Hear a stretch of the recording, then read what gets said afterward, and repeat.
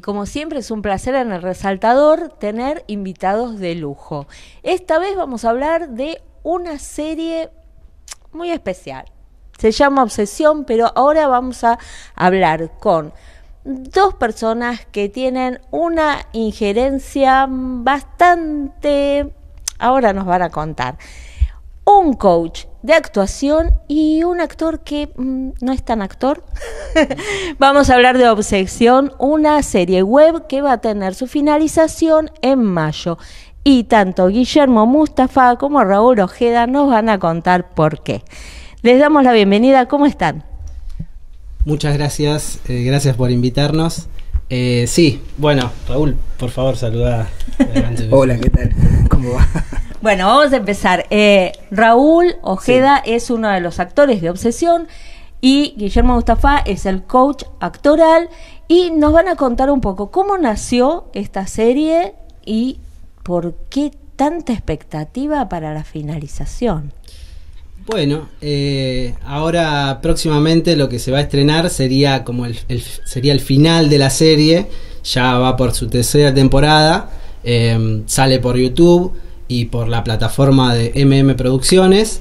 Eh, la serie habla un poco de las obsesiones ¿no? de que, cada persona puede llegar a tener. Son unitarios que se pueden ver este, individualmente, pero que van haciendo una historia y que ahora es tan importante lo que se viene a revelar, este, digamos, todo ese trasfondo que, que se viene, que viene sucediendo estos años, básicamente.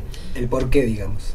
Exacto. Y contanos, bueno, cuenten los dos. Primero, cómo se acercaron ustedes a esta producción y después cuéntenos cómo ha sido trabajar en esta época que, bueno, no ha sido fácil. No ha sido fácil, eh, sobre todo por la pandemia. Eh, pero bueno, ahí hubo un pequeño parate, obviamente, en ese tiempo y retomamos este, a finales del año pasado todo lo que es la parte final de, de las filmaciones, ¿no? Em, yo personalmente empecé como actor, este, tengo una participación en la segunda temporada.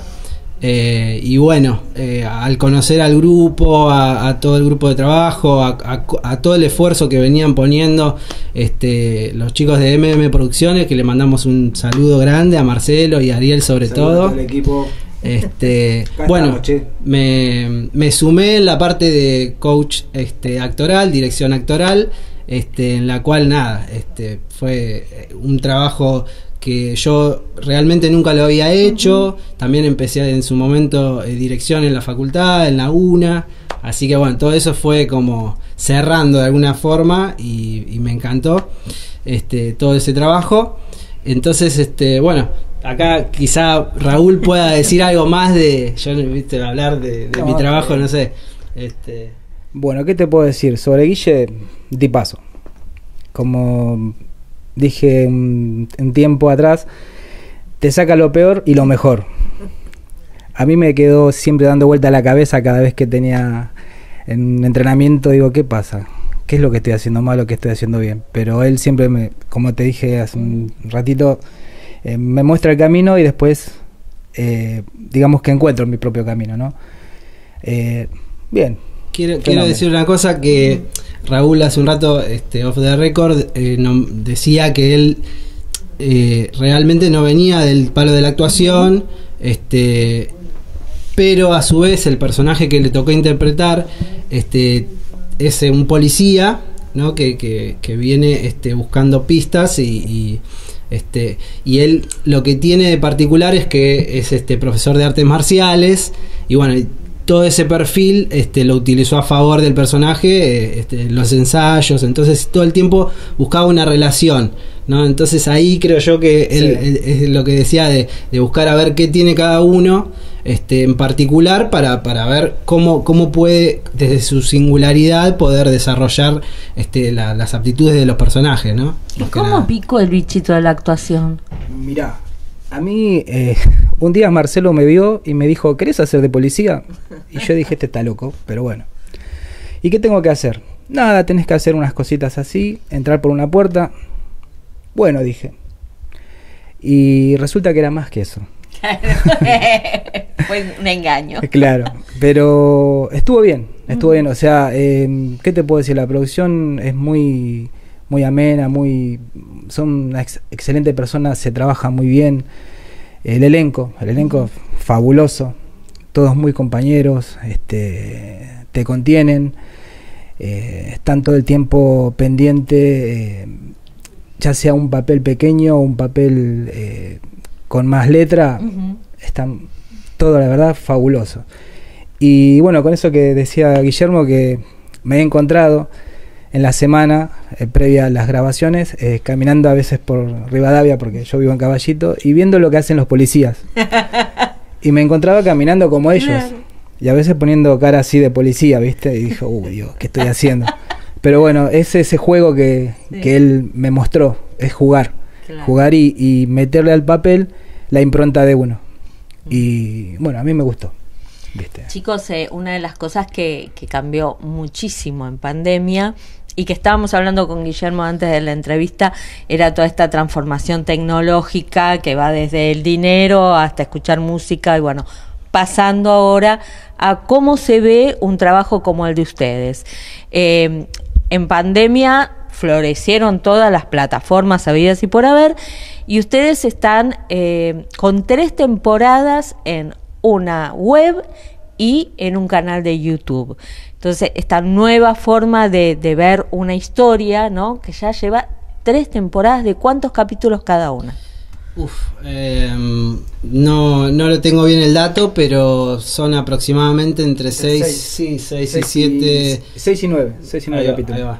Este, también lo que tiene de interesante este, hacer el raconto este, de las temporadas es que eh, desde la primera temporada eh, marca el comienzo también de lo que fue la productora en sus comienzos. Claro. Entonces van a ir viendo desde la primera, segunda y esta tercera temporada, que es el final, que ya es una película, eh, un avance tecnológico, eh, de, de trabajo en equipo. em- se empezó, este, bueno, empezaron siendo dos, tres personas grabando con un celular o grabando con, eh, con, con aparatos, este de bajos recursos, digamos, este, y, y cómo fue creciendo todo, ya te digo, yo me incorporo en la segunda temporada, este, bueno, Raúl también en la, entre Sí. la segunda y la tercera, este, y a lo último, toda esta, esta película, si se quiere, este final, eh, llevó todo un equipo de 30 personas Claro, aproximadamente. porque uno lee la ficha técnica, los Sí, actores y demás sí, son sí, sí, una sí, banda. sí. Y mucho más trabajo también eh, desde la preparación. Claro. Eh,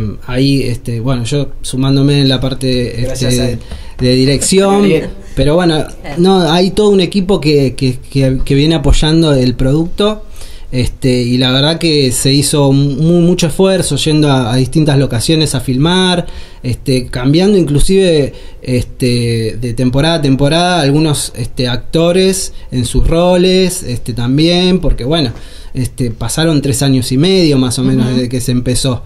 Este, así que sí, fue, fue todo un trabajo, pero mm, viene a marcar eso justamente, todo un trabajo de producción y un esfuerzo desde la tecnología y desde el equipo. Este que bueno, se ve realmente, yo ya estuve viendo algunos avances y, y hay, eh, la verdad que decir, wow. este, muy muy buena calidad está quedando todo. Bueno, no me quiero imaginar cuando, cuando se estrene ahora próximamente en mayo.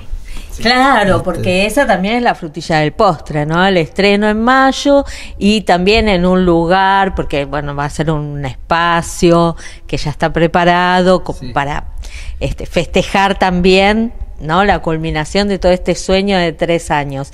Eh, ¿Qué es lo que ustedes sintieron leyendo el último guion y preparándose para ver cómo terminaba todo? ¿Se lo habían imaginado? ¿Qué pasó ahí? Ahí, ¿querés, querés, este, Yo te digo que tengo una mezcla de emociones, o sea, alegría por un lado y un poco de tristeza, ¿viste? Por todo lo que compartí con los chicos. Uh, eso. Sale, Ah. perdón. Y en cuanto a la historia en sí, Es fabulosa. Fabulosa y... ¿Qué te puedo decir? La, la historia en este en esta última etapa eh, se renueva, digamos, si bien habla de las obsesiones y todo, este toman este toma protagonismo hay dos psiquiatras que vienen a este, manipular a sus pacientes, de alguna forma sería.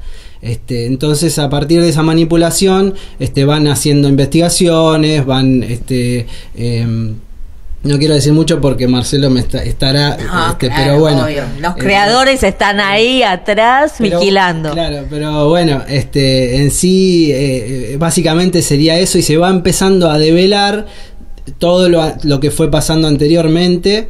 Este, ya no en capítulos unitarios, sino en toda una filmación que va a durar una hora, una hora y pico. Este, y, y bueno, van a pasar un montón de cosas y se va a ir develando todo, toda la historia, digamos, a través de esa manipulación y de sus secuaces que son sus asistentes. Es como que armaras un rompecabezas Claro. de 5.000 piezas y decís, ah, mira, esta pieza va acá. Claro. Ah, mira, esta era de acá. A la miércoles. Se Con me- razón, esta era la que faltaba. Entonces, si, si yo le digo a la gente, antes del 12 de mayo, vayan y hagan una maratón, ¿no? Esto de maratonear que se puso tan de moda, con todo lo- el material anterior y prepárense. ¿Está bien? Está todo el material subido, menos lo último. Está todo subido, inclusive hay, un adelanto de, de- de lo que va a ser este, el- la final, digamos, Sociedad Anónima. Eh, y, pero también pueden ver si quieren, o sea, primero quiero aclarar una cosa, lo- los, los anteriores este, unitarios, este, las, las series, este, los capítulos anteriores, fueron, este, son como cortos, o sea que no tienen... eh, Una continuidad. eh, claro, No tienen una continuidad y no tienen eh, el largo que sí tiene el final. Claro. ¿eh? Entonces eh, es ameno verlos. Lo, lo pueden ver en. Capaz que en una hora se ven la- la- las dos temporadas.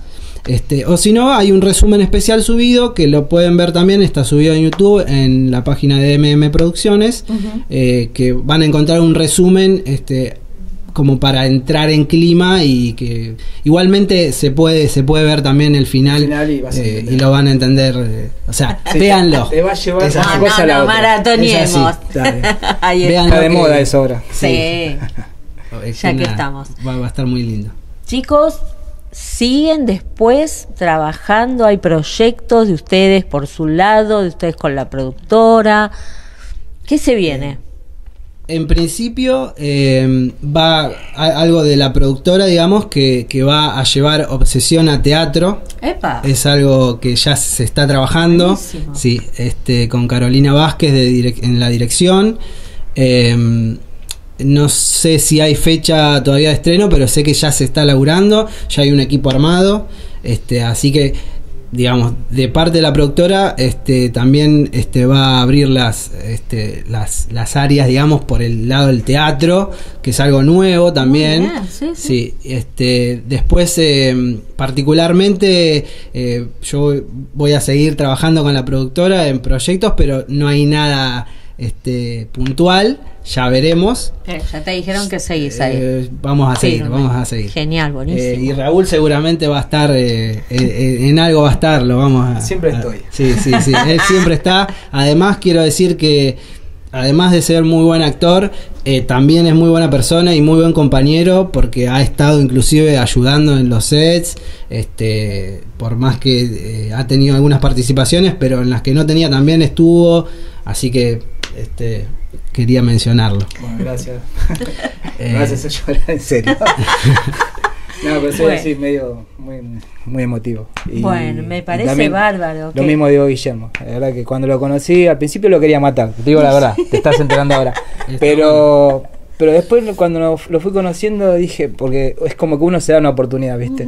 Y decís, wow, este tipo sabe lo que dice, ¿entendés? Y gracias a eso, eh, incluso te puedo decir algo personal, estoy escribiendo un libro sobre artes marciales que él ya sabía y tiene un, ya un final. Este, y bueno, gracias a, a que él, él, él me guió, digamos. Así que Buenísimo. O sea, tomé eso. lo próximo que hagan, ya saben que el resaltador tiene abiertas las puertas para los dos. Buenísimo. Pero lo que vos dijiste tiene que ver con esto que se armó de un equipo Sí. y, y se nota. Y se nota muchísimo. Chicos, ¿cuánto tiempo les llevó grabar la última parte? Uf, esto que ya estamos esperando con ansias. Y esto se iba a estrenar en 2019, así que ahí, ahí se empezó a, a filmar a principios de 2019, así que nada, tres años, tres años y medio llevó, sí, o sea, con pandemia de por medio, este, pero bueno, la verdad que se fue sumando gente muy importante eh, eh, desde la edición, desde cámaras, este, la verdad que, que excelente el, el grupo que se fue armando y, y bueno, eso la verdad que ayudó y, y ya lo ya lo van a ver en, lo- en- en el resultado final.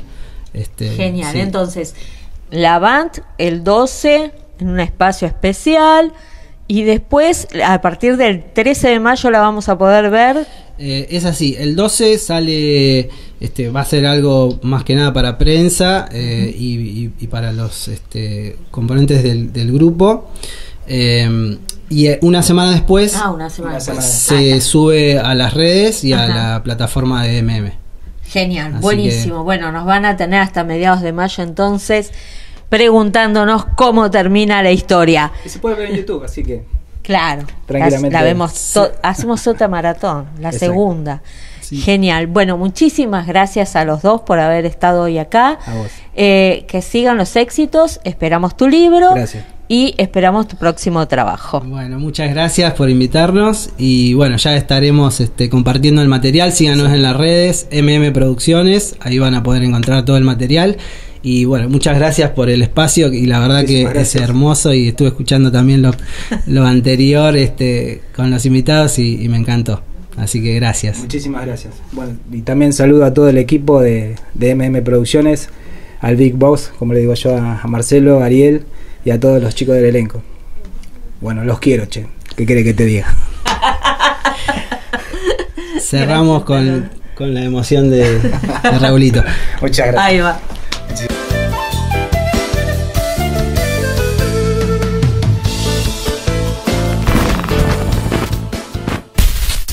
Suscríbete a nuestro canal. Auspicia Sadaik, Sociedad Argentina de Autores y Compositores. La música está de fiesta.